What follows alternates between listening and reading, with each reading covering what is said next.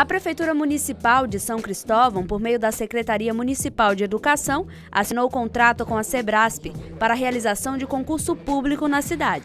O concurso abrirá vagas para professores do município, possibilitando a entrada de mais profissionais capacitados em nossas salas de aula. Essa é uma alegria, um momento de muita alegria para São Cristóvão.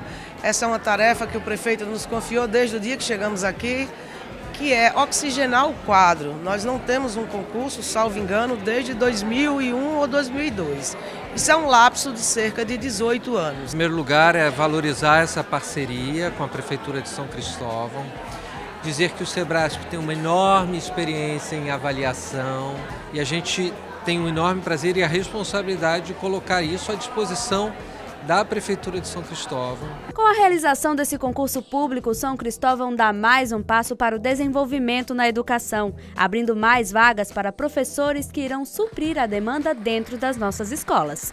Quero dividir com vocês essa alegria que tenho hoje, a alegria de anunciar para a Sergipe que o município de São Cristóvão está realizando, depois de 18 anos, 18 anos é o hiato que nos separa entre a realização do último concurso aqui e esse concurso. Com esse grande avanço agora da educação do município, nós vamos evidentemente é, colocar em prática todos os sonhos que nós tínhamos na educação. A gente não vê no estado de Sergipe, eu nunca vi um concurso para o magistério sendo organizado aqui em Sergipe pelo CESP.